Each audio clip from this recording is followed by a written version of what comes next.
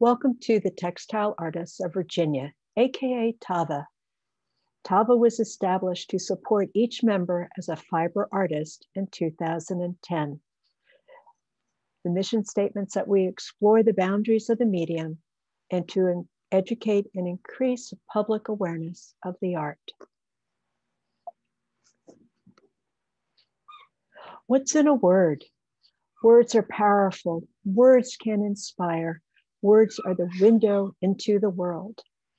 In recent years, textile artists of Virginia enthusiastically delved into the semantics of words, that is, their meanings, usage, cliches, and context. This exhibit presents each artist's conceptions of words and phrases as they explore the themes of neologism, over the top, as well as wordplay and pun. This exhibit is curated by Karin Tauber and myself and the members of TAVA. Neologisms represent the evolving nature of the English language and get added to English dictionaries at the rate of a thousand per year. Over time, people create newly coined terms, words, or phrases defining concepts or ideas that were previously expressed using other words or may not have existed at all. The members of TAVA played with examples of neologisms that found their way into modern and not so modern day English language. Some examples are fiddlesticks, zipper, and FaceTime. Whosical by Melissa Barnhart. Now, around the time Tava began to talk about neologisms, there was a Broadway hit called Seussical. The musical was taken from many of Dr. Seuss's children's books, and that gave Missy the idea for Whosical. There is a long running TV series featuring the time traveler, Doctor Who, and he is transported in a telephone booth called a TARDIS. Missy's granddaughter and many other fans follow his adventures. If there could be a Seussical, why not a Whosical? Infantry by Laura Post. Infantries are where storks made their nest is a wonderful secret place where babies stay until taken to their new parents. It is not known who entered this word for the 2014 Washington Post Wordplay Masters Invitational Competition. The quilt is made using commercial printed cottons, batiks, and various yarns and fibers and stitching techniques. Over the top. The phrase over the top originated in World War I when it referred to troops in the trenches charging over the breastwork to attack the enemy. Nowadays, we use it for something that is going beyond what is expected, normal, or appropriate.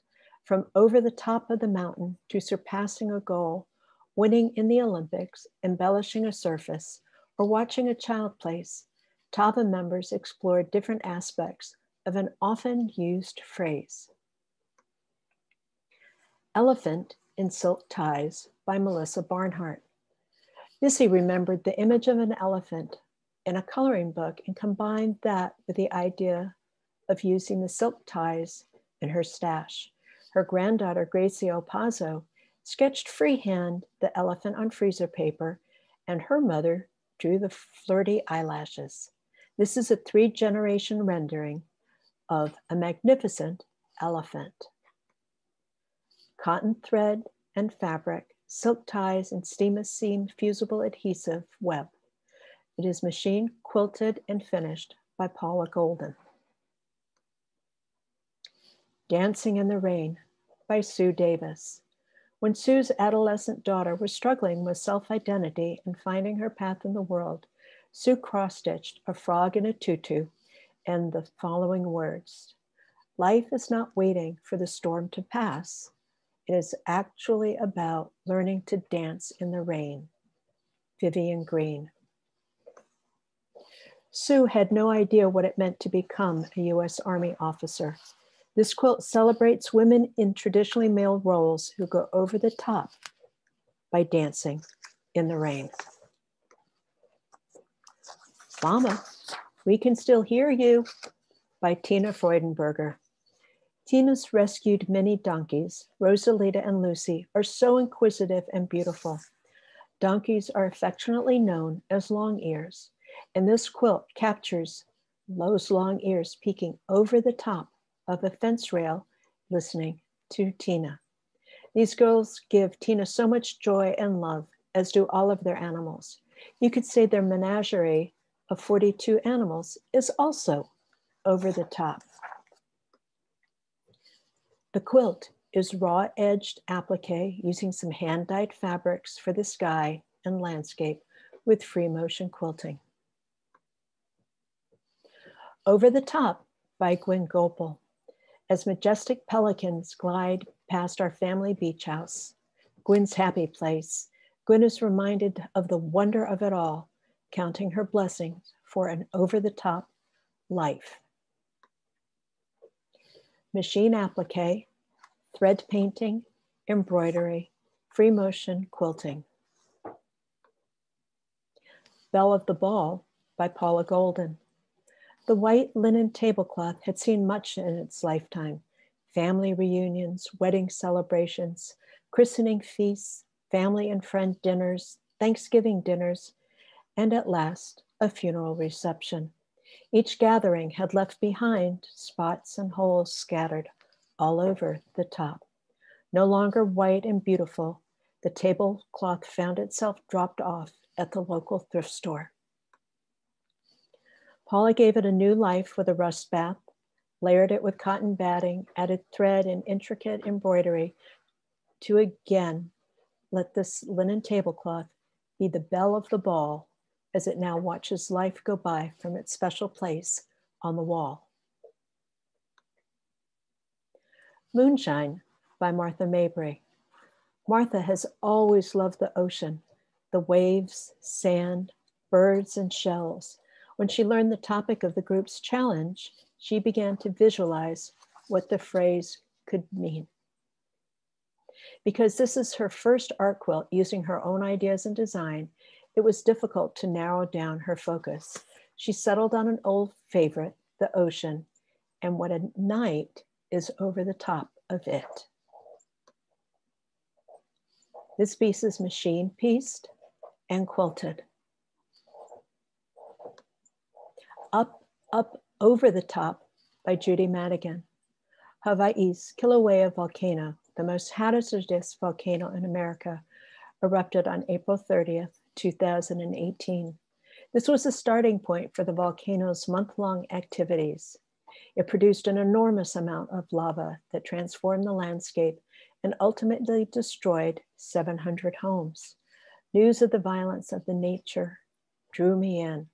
The lava flowing over the top was extremely hot and produced steam vents all the way down the volcano. Multiple pieces of black and gray material were fused to the background. Pieces of different colored tulle and free motion quilting define the steam. Over the Top by Deanne Mims. Inspired by the paintings of Marc Chagall, this quilt illustrates the emotions of love over the top in intensity. The quilt shows falling in love, the marriage ceremony, the creation of family and children. The negative, powerful emotions from love are also portrayed unrequited love, divorce, death, and the ending of love. We use flowers in these times to express our response to these over the top emotions. This quilt makes use of the techniques of collage and thread painting. Free motion quilting surrounds the iconic images. Sundance by Carol Monti. The sunflower is over the top in a myriad of ways, from the sheer size of the flower and the vast number of individual parts to the amount of food it supplies to the vital honeybee. The sunflower is an amazing work of art and design. This quilt explores the complexity and intricate detail of each flower as it um, as well as serves as a reminder of the importance of the honeybee. The techniques of raw edge applique, hand-dyed fabric, embroidery, and free motion quilting are combined to represent this impressive flower. Over the top, SpaceX by Ann Panella. This strip piece quilt is built of half square triangles with color degradations that resulted in blocks that resemble colorful starbursts. Each block is accentuated by a quilting pattern that boosted the effect of exploding stars. What could be more over the top than the stars in space? This work provided many learning opportunities, as well as interesting color combinations and bright visual appeal. Swinging Out Over the Top by Shirley Sellers. My tree swing hangs from a branch of a hickory tree, which is bright and golden in autumn. Swinging out as high as she can gives Shirley the exhilarating feeling of being flung out over the top of her world. Shirley's quilt is completed in raw edge technique with frayed edges in order to capture and reflect this feeling of freedom and over the top. Crazy for Embellishments by Kathy C. Siebebeck. Crazy quilts are an over-the-top assortments of fabric, embroidery, and embellishments in a random design. To give Kathy's quilt some order, she used hexagon patterns from foolproof crazy quilting. Some fabrics and trims have sentimental value. The satin from Kathy's daughter's wedding gown, her grandmother's handkerchief, a swatch from her granddaughter's jacket, with silk ribbon flowers, she stitched her initials in three hexagons. Some embroidery and beading were inspired by stunning stitches for crazy quilts. Each hexagon is machine pieced. The remaining stitching and assembly is hand done. Glory's Garden by Gloria Smith. This is Gloria's first art quilt after 30 years as a traditional quilter. Her husband sa says that she is obsessed with quilting. If she is not actually piecing and quilting, then she is thinking about it. Gloria is also inspired by the beauty of nature and decided to create Glory's Garden using as many of her favorite techniques and materials as she could. This quilt makes her think of a warm, sunny day and makes her happy. The background is hand dyed and painted by the artist. Cotton, wool, velvet, ribbon, variety of threads, machine and hand quilting, and embellished with embroidery, beads, and buttons. The Biggest House in the World by Karin Tauber. A little orange snail, unhappy about her tiny house, soon finds a way to enlarge, and adorn, and color it she discovers too late that her big house prevents her move to the next cabbage plant. And sadly, she fades away, and soon her majestic house crumbles. Many years later, a wise snail tells a story to a small purple snail to convince her that a compact, easy to carry shell might be better suited than the biggest house in the world for a life of adventure and exploration hand applique, free motion quilting, and beading. Wordplay and puns. This portion of the exhibit is a collection of color altered fabrics created by each artist over the course of several years to set the stage for Wordplay and Puns vibrant exhibit. Indigo dyed fiber, discharged pieces, Fabrics dyed using various colorants as well as painted fabrics are fastened to each artist's unique interpretation of their word, phrase, or pun. Each quilt in this inaugural exhibit contains 50% of or more of fabrics altered by the artist. Brushstrokes, Fry Dye Night Lights by Arlene Blackburn. Under the bright lights on a crisp fall evening, the green manicured grass is slightly damp from a fresh watering earlier in the day. Tinged with excitement, The marching band takes the field in a well practiced regimented formation, horns up. The star spangled banner resonates through the air and sets the stage for all the drama about to unfold. Those lights piercing the night sky are a beacon inviting all to come and experience a classic moment of their youth. Fabrics hand dyed by the artist, raw edge cut, machine pieced, machine quilted. Cotton fabrics, cotton and rayon threads, 80-20 cotton poly batting. Dying to Escape COVID by Sue Davis. COVID is what is consuming us all these days. Sue began remembering when she lived in Hawaii and what a relaxed and seemingly carefree time that was. In her art quilt, the tropical flowers are battling the virus for dominance, just as her mental health is battling isolation. The flowers are hand painted on silk and hand appliqued to a cotton background that is a wax batik. The texture of the batik, COVID, is enhanced with free motion machine quilting. Aurora in the Night Dies by Tina Freudenberger. Last year, Tina and a friend began experimenting with ice dyeing. When Tava members challenged each other to incorporate their own dyed fabric, she wanted to ice dye the fabric and build an Aurora Borealis piece. After many tries, she was able to create a sky that reminded her of the aurora. Tina tends to do quilts with animals, so she added a polar bear to the scene. All fabrics were either ice dyed or submersion dyed by hand using fiber reactive dyes. Raw edge applique and machine quilted with various threads. Dynamite by Gwyn Gopal. Some waves simply explode like the mighty force of dynamite. As an artist, Gwyn cannot find a better way to spend her time, in addition to being with family, than expressing herself through improvisational art quilting. Living on the beach provides a constant and changing inspiration for Gwyn's work. Dynamite is sun-dyed with coins and couscous, painted with Setacolor, ink intense pencils, and acrylic paint, quilted with cotton, polyester, soie, and metallic threads, and embellished with love.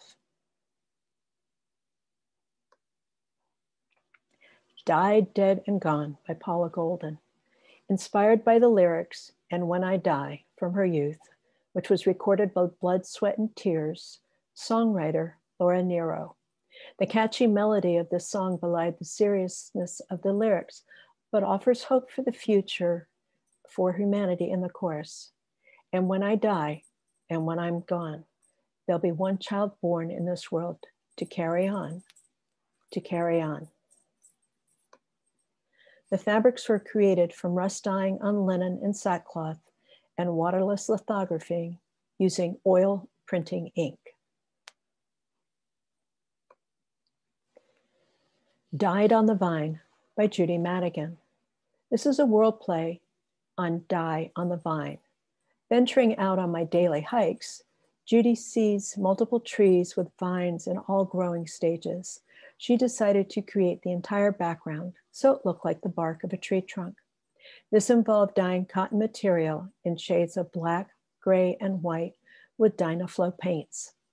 After cutting different lengths and adding small amount of commercial fabrics, Judy fused everything to a black background. The base is heavily free motion quilted. A cord was attached for the vine and multiple leaves dyed with Dye-Na-Flow paints were fused to the surface. The piece was finished with free motion quilting.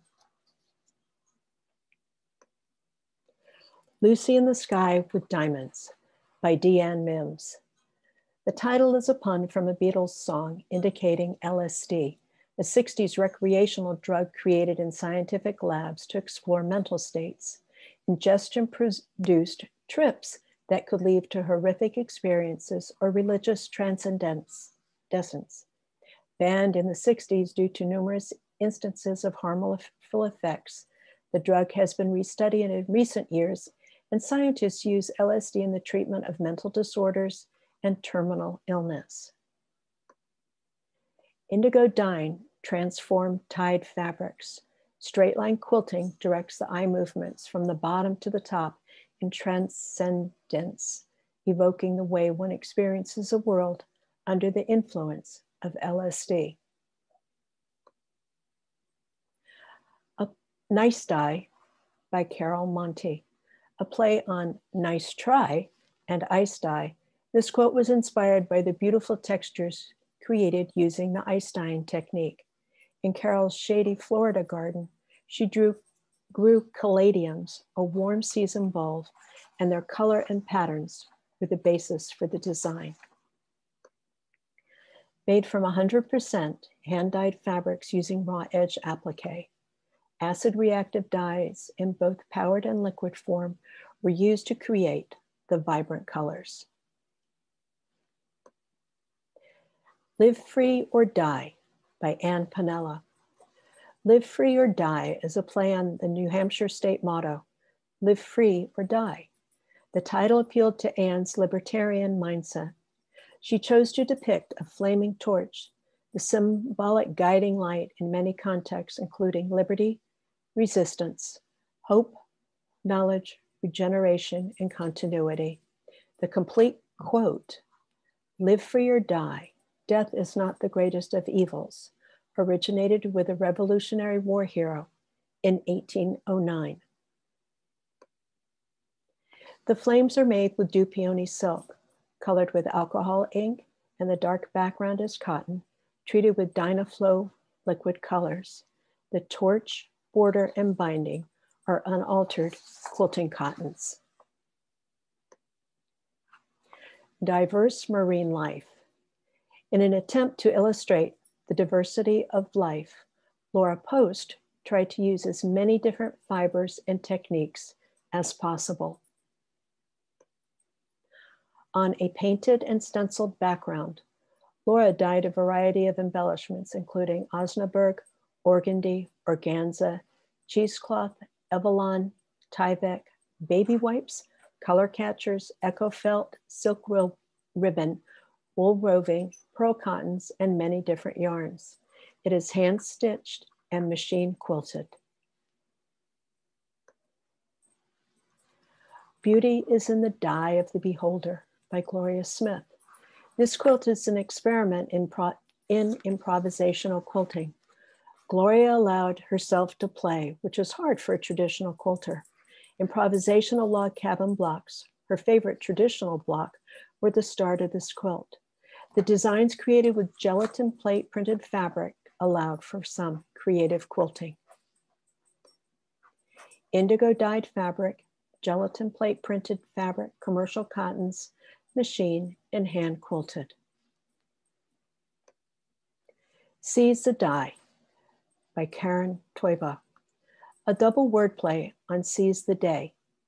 The wood post of an old pier is overgrown with plants and corals, providing a sheltered area for various fish and ocean creatures. Sunlight seeps down to the sandy ocean floor from the water surface. Coral reefs are very effective for reducing damage coming from the ocean. They absorb wave energy and protect ecosystems located between the reefs and the coasts. For example, seagrass beds and lagoons, thereby contributing to environmental protection through the reduction of coastal erosion. Discharge stamping, monoprinting, gel printing, Dye-Na-Flow, and indigo dyeing. No commercial fabrics were used beads, yarn, hand applique, and free motion quilting.